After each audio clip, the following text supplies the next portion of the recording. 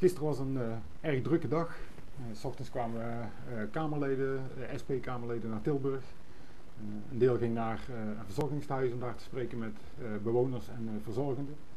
ik ben met Jan de Wit en een aantal anderen naar een braakliggend terrein gegaan wat we gekraakt hebben. Om op te knappen, om een beetje schoon te maken, om wat leuke bloemetjes te planten. In navolging van de anti-griepesverordening die de gemeenteraad afgelopen vrijdag heeft aangenomen.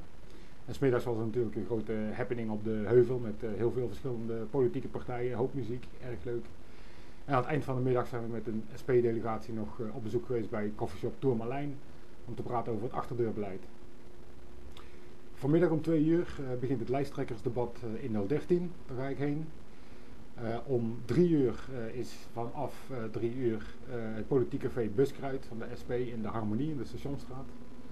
En vanavond uh, een hele bijzondere happening, een soort politieke kroegentocht, waarbij alle politieke partijen in Tilburg een eigen kroeg hebben toegewezen. En u bent uh, van harte uitgenodigd naar Café Stoffel op de Korte Heuvel, waar de SP zich zal presenteren.